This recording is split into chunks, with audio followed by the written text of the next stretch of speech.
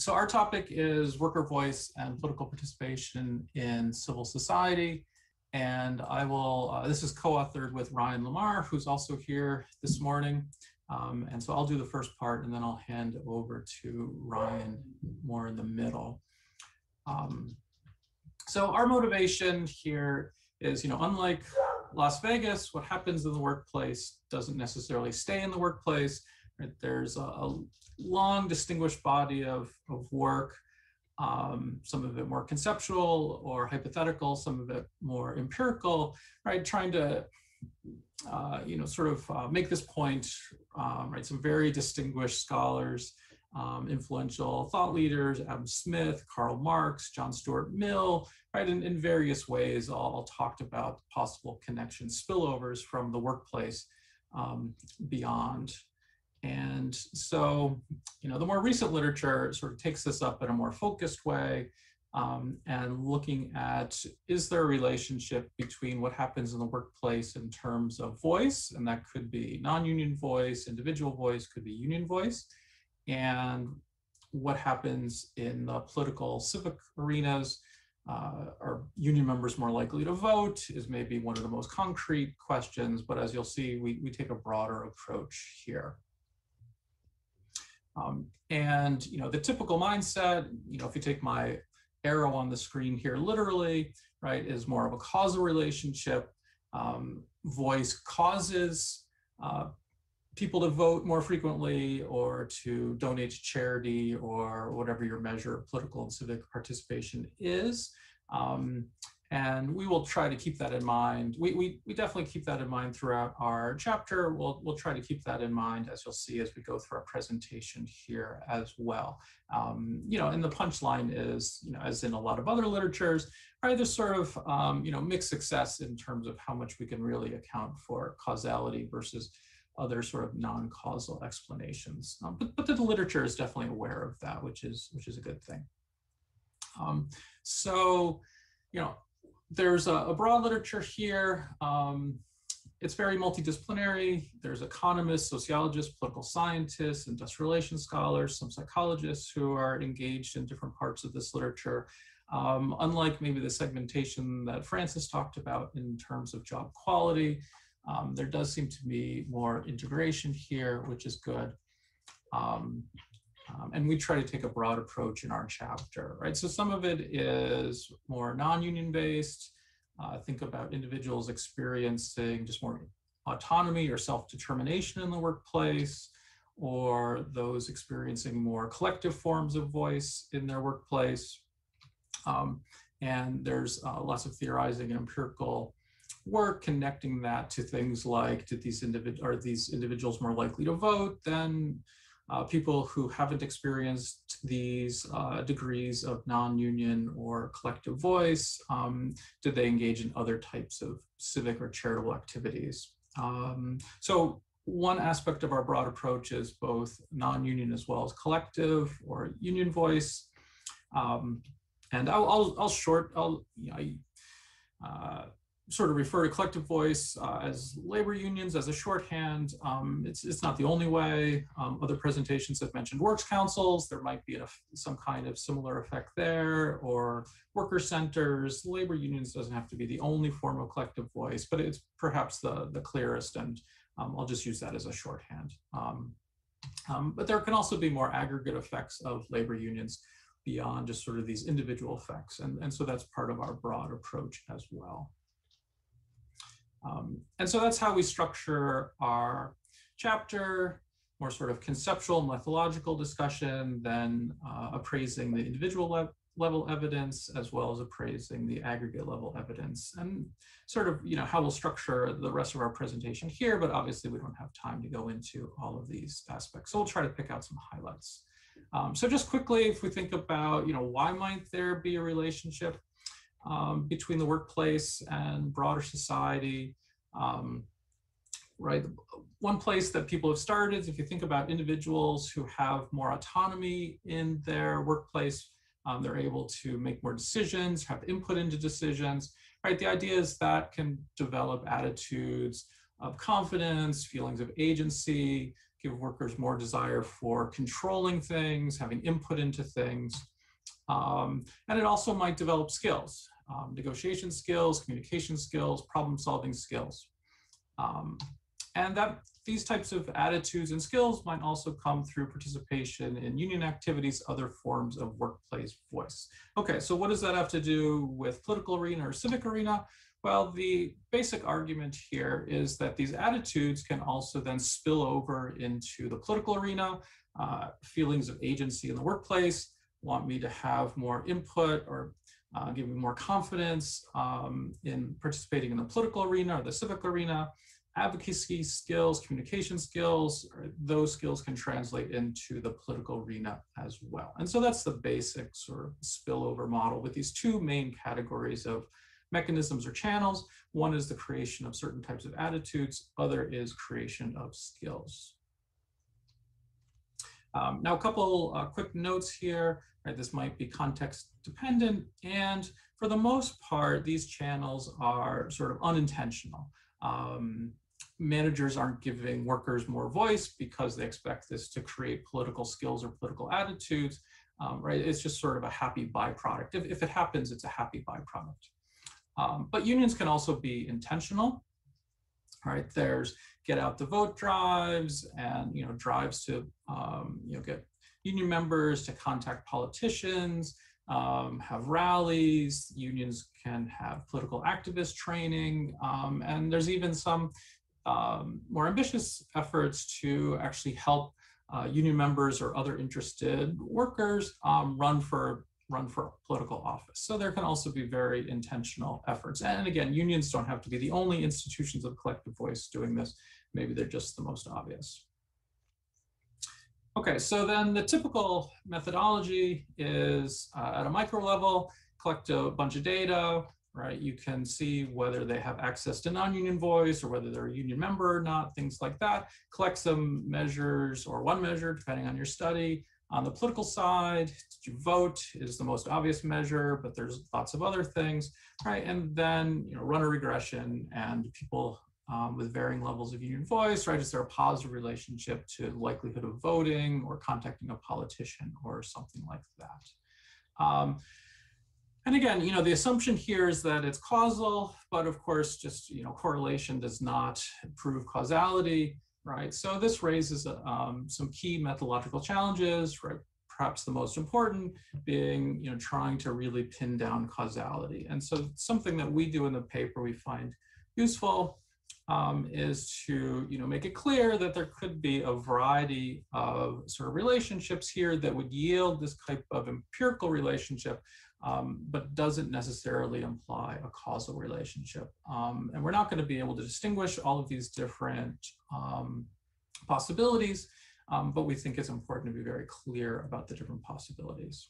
Um, and just quickly, uh, another methodological challenge that runs throughout the literature is even, um, even if we can pin down a causal relationship, um, it's much more difficult to tease out, you know, is it the skills channel, is it the attitudes channel, or is it specific skills, specific attitudes.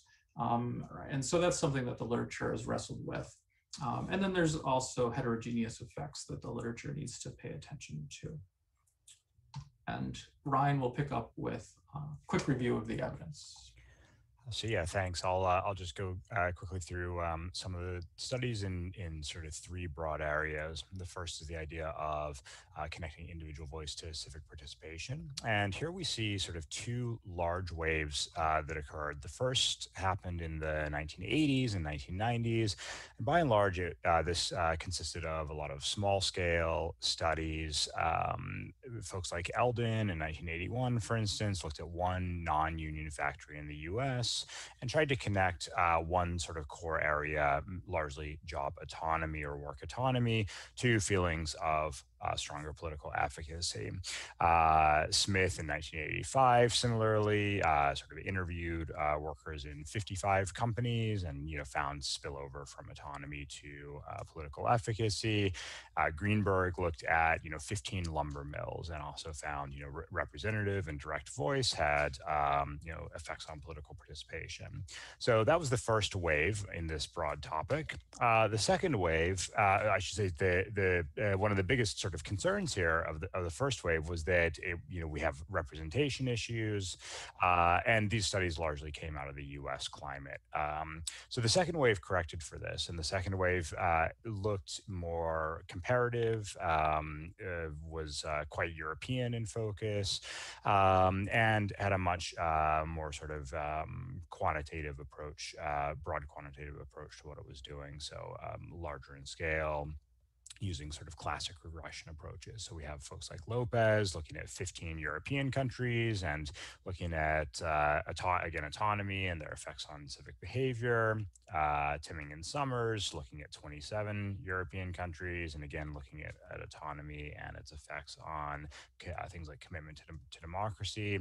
And then John and I looked at um, various political acts, uh, not just uh, autonomy, but a, a variety of different actions uh, politically, um, and finding that we find that you know strong evidence of worker voice uh, related to these eight political actions: voting, contacting politicians, boycotting, being a member of a political party, and the like. Um, so the, all of this basically uh, results in a, in a sort of overall uh, contribution, which suggests that um, there's a strong uh, there's strong evidence uh, showing that uh, direct participation in workplace decision making is uh, positively related to spillover behaviors. And a meta-analysis in 2020 really highlighted that that nicely, um, clearly showing these effects. Um, so the big concern here is uh, around these wave two studies is the idea of causality. And so, you know, one of the big arguments uh, is that a lot of these data weren't panel in nature and um, uh, we can't know, you know, what causal direction is going. And so, so a, uh, an individual Adman looked at this and, you know, found that maybe the evidence wasn't as strong as we would have thought if you account for causal mechanisms. Um, so, uh, so uh, one of the big concerns there is how do you overcome that? And so John and I uh, tried to use like instrumental variables to try and overcome some of the problems of causality. Uh, there are also problems around mechanisms as well here. So, what is what exactly is the mechanism that's leading from uh, individual voice to civic participation? And all studies seem to struggle with sort of directly picking this up. Um, okay, so then uh, the, you have four minutes left. Got it, no problem. So, uh, so just uh, briefly, two more uh, broad areas that we cover is the uh, rather than looking at individual direct voice, you can also look at the effect of union voice on a specific action like voter turnout. There's an argument that uh, unions engage in what can be thought of as a vote premium, uh, sort of like a wage premium, but for voting. Lots of studies have looked at this, uh, and they find that you know union members are more likely to vote than our comparable non-members. Um, this is, um, you know, sort of a, a, an interesting finding because it has a, a, range of outcome possibilities depending on what you account for. So uh, the range can go from anywhere between 4 to 18% as a union vote premium effect. Uh, but a lot of this is going to depend on whether you consider some of the um, sort of methodological challenges uh, around, um, around the vote premium concept, which I'll talk about in a, in just a second. Um, in addition to the union vote premium, we also see that union members vote differently from non-members in terms of who they vote for. So union members vote typically for more left-wing social democratic parties and candidates. Um, but we see that this is actually weakened a little bit. Um, that was a really common finding in previous studies, but it's weakened a little bit in recent studies as well. So some of the methodological concerns that have led to our you know, sort of challenges or weakening of these uh, interpretations. Uh, the first is the of mechanism. So basically, the union vote premium can be at least partly explained as uh, mechanistically as an income effect. So, um, you know, if, if uh, union members are higher income, higher income folks vote more. Uh, so it might not be a direct union effect. It might be actually um, ascribed more to income differences. Although we find that um, union vote premiums decline after accounting for income, they don't necessarily go away completely. So that was what um, Alex Bryson's work tended to show in the European context. Um, other concerns on this uh, in this area are uh, causal in nature, selection problems. So um, union members might select themselves into union membership based on their higher political engagement, awareness of politics, and they might then vote more. Um, so uh, folks like uh, Abdic and uh, Baccaro tried to deal with this uh, problem uh, and and found you know anticipation effects also help uh, help explain the results. And then the last uh, point here is that we get uh, significantly, um, you know, significantly critical examinations arguing that actually maybe some of these connections are a little bit weaker given the rise of extremism, political extremism, and union member likelihood to be voting for extremist parties. Lena Rennwald's work um, picks up this thread in particular. So the very last thing that uh, that we just want to highlight here is, you know, after you have these sort of individual um, effects on things like voter turnout and what have you, can you aggregate those up into wider political um, uh, influence. And we argue that in the in the uh, paper that yes, you can actually you know create sort of a or a reshape uh, political thinking uh, by doing things like um, creating a working class electorate, having strongly politically educated uh, workers that then go out and vote in certain ways, that can sort of change the democratic character of, of, a, of a political institution. Uh, but a lot of this might depend on political systems at play, what the characteristics of those systems are. John and I looked in particular at uh, at how um, more representative uh, political systems might shape um, attitudes toward unions, um, and you know we found that the political system matters a lot in the aggregate in shaping these aggregate results. Um, by and large, we see you know more representative systems yield more union influence, and we also uh, uncovered some evidence that you know even in uh, authoritarian or autocratic environments, we can see that unions uh, can play a role in building democracy. Um, union members can go out and um, you know uh, engage in protest activities or um, other types of um, uh, actions that can shape the uh, dem- the democratic nature of these systems A couple of methodological concerns. One big one is is causality. Here again, we don't necessarily know that, that what the causal direction uh, is with with uh, the relationship between unions and uh, aggregate democratic societies. Um, and two others, you know, there's a contingency effect. You know, not all unions are going to be sort of overtly positive or overtly democratic in nature. Some unions are anti-democratic, so we can't assume all unions are going to do this.